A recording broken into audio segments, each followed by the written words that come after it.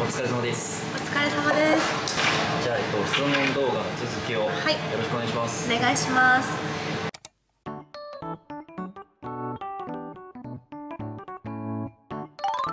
好きな男性のタイプは？好きな男性のタイプ。あーだどんな感じだと思いますか？あやっぱりですか、はいすごい優しい人がいいと思いますね確かさなんか誠実で優しい人おおらかな人なんかこう純粋に人のためにとか誰かのためにとか純粋にこう温かい人がいいです。まあやっぱりだいぶピュアといいますか純粋すぎるので やめてくれ。そういう、ね、悪い男に引っかからないようにしてほしいなってあはい。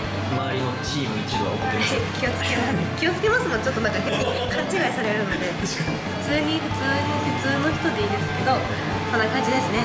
ちなみにこう見た目とかは前にも言ってたかもしれないでも清潔感しか言ってなくて私薄い顔も好きだし濃い顔も好きっていうなんか別にどれが好きはないけどうん見た目のどっちかって言ったら薄い顔の方が好みではあるのかな。でもあんまかっこいい人と構えたかっこいいってだけで、はい。うん。以前から知ってるんですけど、ん。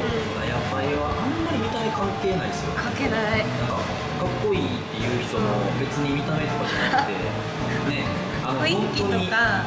顔がかっこよくないとダメとかではうんないですよね、うんうんそうそうそう。それは雰囲気、昔から言ってますね、うん、この人は雰囲気とかそういう存在感とか。じゃ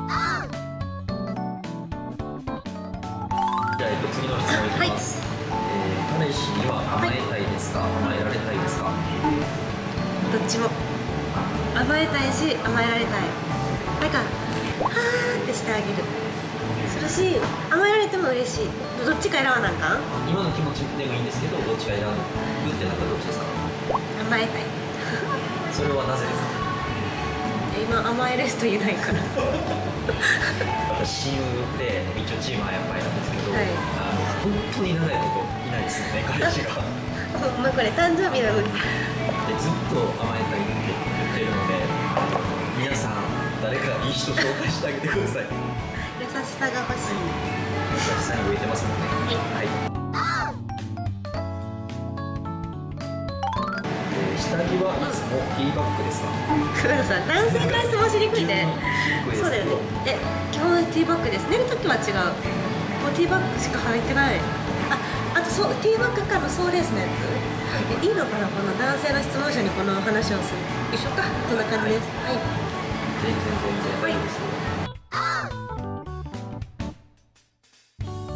えー体の関係から始まる恋愛はありですか？そのような経験はありますか？結構食い込んだ質問ですえ体の関係から始まる恋愛はありかなしかって言ったら別にありなんじゃないかなと。本人次第な気がするそれで次がでそのような経験はありますか？ないですね。これは僕も知ってますがないですね。聞いたことはありません。え体の関係から付き合うとか好きになるかってこと？そうですね。体の関係から始まる恋愛はありました。ないですね。はい。まあそうですね。ないですね。寂しいけど。あってもいいかなとは思っちゃいますね。でも結構人によるか。も恋愛に対してはめちゃめちゃ真面目ですも真面目すぎてダメだ好きになったら好きになること少ないですけどそうですね好きになったらもう一途にフォーカスしちゃうタイプ。はい。そうですね。大丈夫ですか？大丈夫。恥ずかしいね。こういう結構結構ぶっ飛んだ質問残したじゃん。まあいいや。はい。僕もあの読みながらちょっと恥ずかしいと言いますか あれなんですけど。はいすいません、はい。お付き合いください。はいジチアとのマル秘エピソードを教えてください。コジチアの説明。コジチアは私のもともと同僚ですね。航空会社で働いてた時の同僚で今タレントとかライバーしてる子なんですけどマルヒって結構言ってきたからな。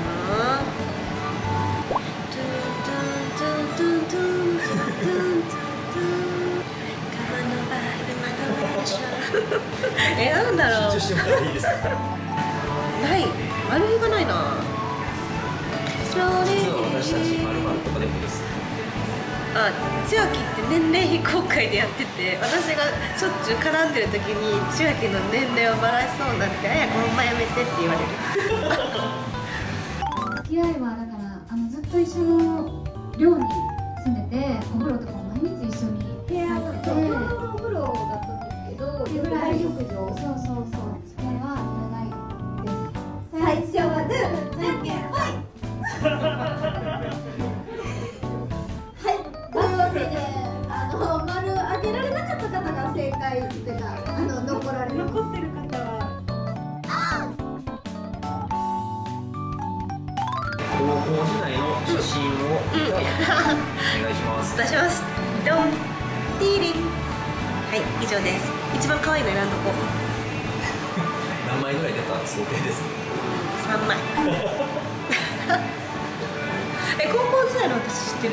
いやこれは知らないです。知らんか。そうかそうか。大学から。のそうかそうかそうか。はい。次はあの質問箱で受け付けた質問について答えていきます。はいじゃあ行きます、はい。えーちょっとさっきと似た質問なんですけど、はい。好きな男性のタイプとどんな仕草に魅力を感じますか？タイプは言ったもんね。仕草仕草ではないかもしれないんですけど私なんかあの男性の背筋フェチかもしれないと思ってもともとあのクライミングボルダリングやった時も男性のこの背筋のたくましさみたいなのにかっこいいなと思ってマッチョが好きとかじゃないんですけどなんか最近その背筋の男らしさにはちょっとドキッとする。でもなんかちょっとやっぱ気遣ってくる女性扱いしてくれるみたいなちょっとしたあの例えば道こう危ないからこう寄せるとかわかんないなんかしてあげるとか女性扱いされるとなんかちょっと簡単にポロって言っちゃうかも優しさにも言えます優しさに入れてますそこに戻るはい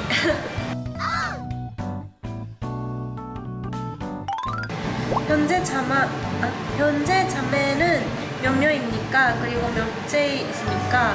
えっと兄弟は何人ですか? 제가何番目ですか? 저는 에 또, 오빠랑 남동생 있어요. 그러니까 세 명. 네, 가운데 두 번째입니다. 私はお兄ちゃんと弟がいて真ん中です。はい。はい。やっぱりグッズをリリースするならどんなものを作りたいですかグッズ はちょっとまだ美容とかと違うのね。え、なんか T シャツとか作りたいかも普通にパジャマとか。パジャマ作りたい。あ、やっぱりパジャマ。顔写真入ってると 寝れない パジャマ作るえー今年も男女問わずのイベントを開催する構想はありますか？あー今日実はあの女の子のイベントしたんです女子会。楽しくてやっぱいいなと思って人が関わる集まれる場所あるの。やりたいなっていう気持ちは毎年持つと思います。あとはまあスケジュールとまあそのいろんな踏まえできたらいいけど今のところ今年の予定はまだないですから何とも言えませんがしたい気持ちはすごくあります。何したい？来てくれますかね？行きますっていうコメントがじゃあ100件あったらやります。お願いします。はいこれまでいろんな夢を実現してこられたと思いますがこれから実現したい野望はありますか？夢の実現は意外にしてなくてでなんか夢っていうと夢持った方がいいと思うんですけど夢を持ってる感覚はなくてなんかこういうしたいからこれするみたいなのがずっとつながってる感じまあ夢って言って実現させたいんだったらあのえこれちょっとあれなんですけどやっぱちょっとちゃんと社会に貢献できる女性になりたくてなんかそれは本当お仕事とは別でなんだろうな例えば今思ってるのはまだ全然調べられてもないけどなんか子供のブラジャー選びとかその親御さんがなかなかと関われないとかいない子供たちどうしてんのかなっていうのも気になるからちょっとブラジャー配り姉さんししたいなとか。あと動物やっぱすごいもうちっちゃい時私の家は動物保護してきたのでまそういうのもしっかりもっとちゃんと関わっていきたいなとか。最終的に社会的にこうなんかで関われる人になりたいなと思います。はい、あと高素風呂のお店を東京にも持って米ぬか酵素風呂といえばっていうのを作るが夢今。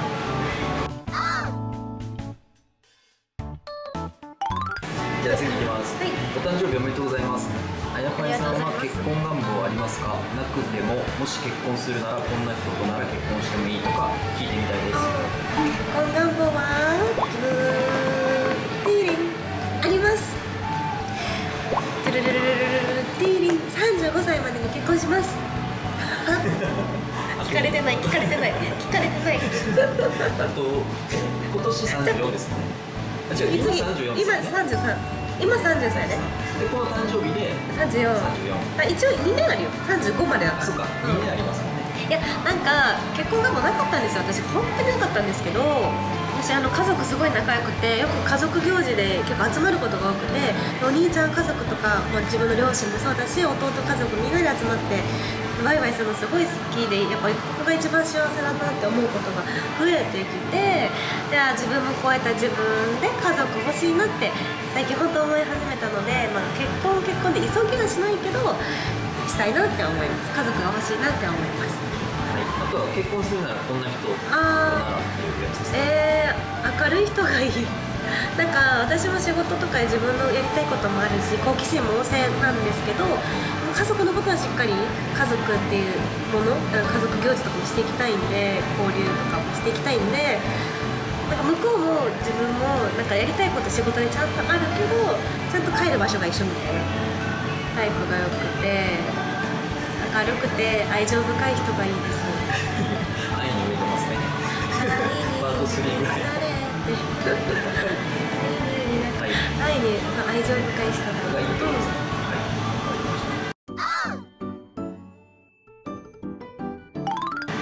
すさんのことが好きなんですけどどうしたら付きますか？これは気になるところですね 私ちょっと変だからな。なんだろう。なんか結構自分が好きになった人っていうなんかところがある？あんまりこうガツガツ来られすぎても嫌なんですか？うん。嫌とかはあれですけど自分から男の人に興味を持つ機会が少ない分自分が興味持った時に大きくなっちゃうから。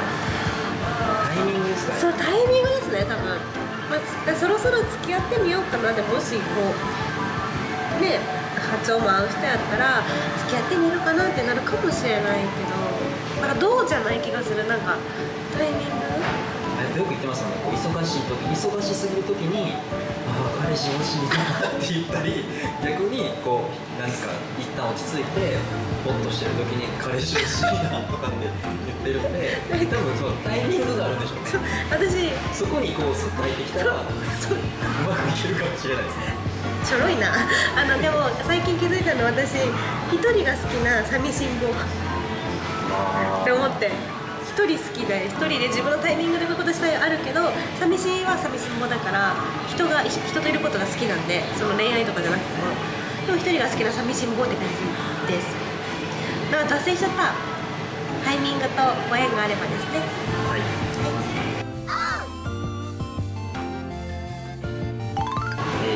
ーを作る予定ありますか？大好きなあやこさんを毎日毎月眺めれたら幸せです。本当ですか？じゃあカレンダー欲しいって100件コメントあったら作ります。嘘嘘。でもいいですよね。ポスター方式だったら作れるかも。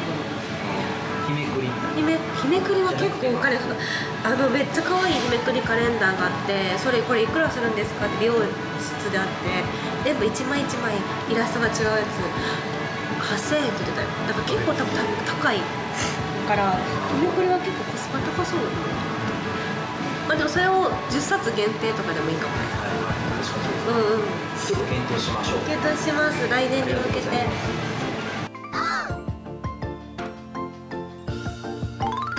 あやぱいさんはいくつなん？ちょこれさあのさウィキペディアがさなぜかすであの違う井上彩子さんであの情報を作らないとね作れるんだよねあのウィキペディアって確か。確か作れますね。なんか私の写真で違う人の違う井上彩子さんなんですけど私は1989年4月6日今これ誕生日の日だから34のレベルです。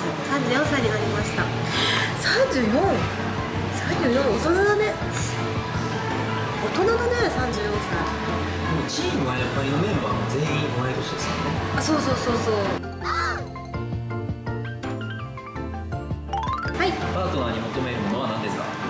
多いねさっきと似てない？パートナーえパートナーだから別に旦那さんでもないか。ああそうですね。仕事でも。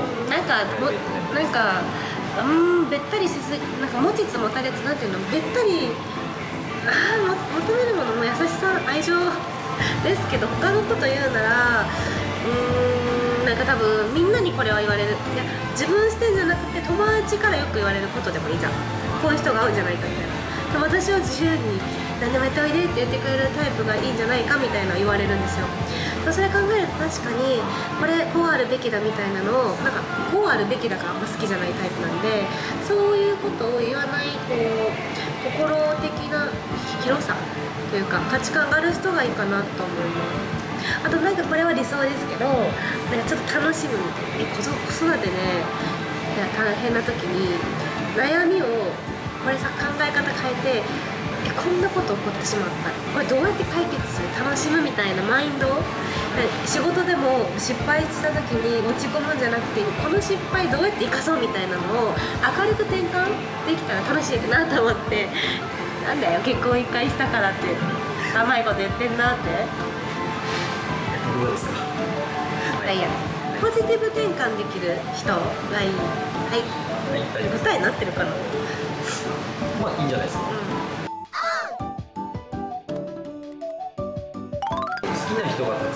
絞れないです。どうすれば絞れますか？えそれ異性として好きな人がたくさんいてってことだよね。おそらくそうです。好きじゃないんじゃない？誰も。特別。だ人のことをすごい好きになる方なのも。うデフォルテ。もうあもう美味しい好きみたいな。水必要好き。でもその中でも本当に好きな人はずば抜けで本当に好きな人がこれ私がですけど本当に好きな人がいたら他に目いかなくないあ綺麗だなとかかっこいいなとかあいい人だなって思っても好きの感情はいかないと思うからいっぱいいるってことは飛び抜けた人がいないってことはみんな人として好きなんだと思います。だからすごい愛情深くて心広いじゃないですか。私のパートナー。生日を迎えてあやさんがまだ行ったことがない県があれば何県へ旅行へ行ってみたいですか？岡山県と山形県。岡山と山形。です山形。それななんでなんですか？なんか山形とか岡あ岡山はなんとなく美星町っていう町に行ってみたいの星が綺麗って書いてあるんです山形はやっぱ食べ物が美味しいイメージでいろいろちょっと行ってみたいなって思ってます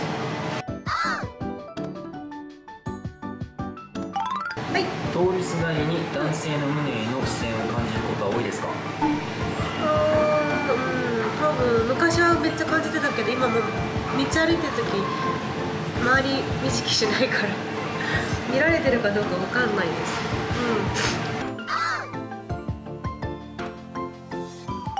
食べ過ぎた次の日の調整方法はありますか？うん次の日食べ夜食べ過ぎたりとか。あでも私あんまりべ過ぎた日の次の日はだいたいヨーグルトとかにあのフルーツキウイとかバナナとか、まあ、ブルーベリーとかカットフルーツカットしてフルーツカットして入れることが多い朝は。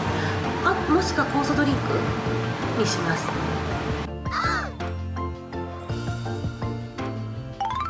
えー異性への傷ついた一言は何ですか？い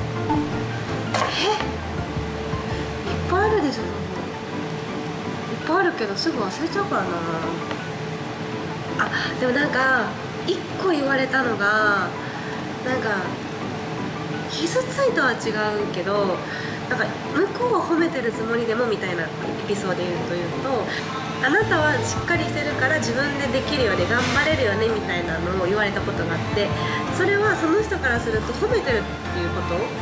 でも実は私だって一人で頑張ってんだよ。愛が欲しいんだよ。頑張ってねみたいな。なんか自分で全部やっちゃうから手を貸さなくて手をなんていうかな？うんななんていうの？傷ついたっていうかなんか甘えられないから私が基本人に。そう見えちゃうんだなと思って傷ついたっていうか、まあ、そうたまには甘えたいのになって思った。一言見た目女の子ででも確かに見た目の印象じゃない性格かもしれない。でも実はいやそういう性格だけどちゃんと女の子っていう自分もあるよっていう感じ？じゃない？わかんないけど。私は男性なのですが、彼女の胸の悩みに寄り添いたいのですが、どのような気持ちで向き合えばいいですか？あなんかもうそれ持ってるだけでよくて褒めてあげるのはいいんじゃないですか？あのあなたはそれで綺麗だよっていうのが一番だと思います。だから解決するかどうかって、まあ自分自身がいいと思ったらもうそれで解決しちゃうんで逆に自分周りが良くても自分自身がいいと思わなかったりもっとこうしたいってなるとその人にとったら全然解決できないんで単純にもう今素敵だよっていうのを伝えてあげるだけでいいと思います。はい。双子座 A 型身長180センチお願いします。分からんわ。何の質問やねん。もう一回読ませてください、はい双子座 A 型身長180センチお願いします。え何？知り合い？いやわからないです。これは。双子座5月生まれでしょ？大え体 A 型私 O 型か B 型が好きとか言って。大型が好きなんですか？O 型があでも基本だって元か。らです何型何型私 B 型あごめん一番合わないですあ笑いますね O 型の男の子が好きになる確率があ好きになる子の中は大体 O か B が多いかも。O が圧倒的に多い。あ別に血液を知らない。んでね私感覚で好きになっちゃうから私大体 O 型か次 B が多いかもしれない。うんうん。ちなみに身長180センチのかっこ高身長でもかっこいいと思いますよ。身長高いのはかっこいいと思いますすごい。お願いします。お願いします。質問をお願いします。ちょっと面白いですね。面白い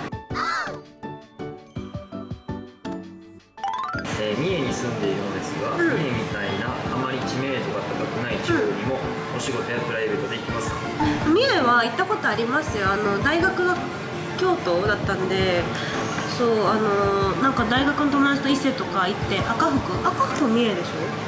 三重です。あのあえ三重では買わないけど新幹線使って大阪から帰るときは家福いつも買う。で肉を食べる電車の中で。でも好きです。あの本当に私どっちかっていうと都会より田舎が好きなので海外行ってもそうですけど田舎でのんびり散策するのが好きなのでで全国回りたい暗記したいな。うん。前こうチームで話した時に、うん。こう東京でイベントやったじゃないですか,、うんうん。だからと大阪でやったらどうなるんやろうみたいなのは言ってましたよね。言ってた。わ大阪のいや結構関西と九州の人でやってなんかこっちでやってくださいみたいなコメントがその時多くて関西やっぱでも遠征費がスタッフみんなでやると結構高くなっちゃうんでそう集まるか高くしないと大赤字。アンギャする言ってたよプライベートで暗記します。すいません失礼しました。余計なこと言いました。最後に質問いきます。今後してみたい仕事は何ですか？あーなんか仕事っていう感覚が今全部なくて仕事？あれですよねあやっぱ結構いろいろ興味持ちますもんね。興味を持あれしたいこれしたいってつうできますーん。あなんか仕事っていうと難しいんですけどちゃんとちょっと体のこととかそのもうちょっと自分でちゃんと勉強して落とし込みしてそれを届ける。それがその喋るのか動画で伝えるのかもしくは例えば、まあ、言ったらコメントかコースで伝えるのかとかあるかあるんですけどあくびあくびしたよ？質問者。今さやっぱその受け取った人がプラスになる情報確かな情報っていうのをしっかり届けていきたいっていうかまあある。仕事っていうと難しいけどうん。あといろんななんかもまだ見ないまだ知ってない世界の人といろんなあの仕事関わっていきたいなとは思います。仕事っていうと難しいけどやりたいことってことだよね。うじゃあちなみにんはいお。あやっぱりじゃなかったら何した？い猫になる。たまに言いますよね。猫には猫になりでもたいなれるけど何をするっていう質問が来た時に猫になる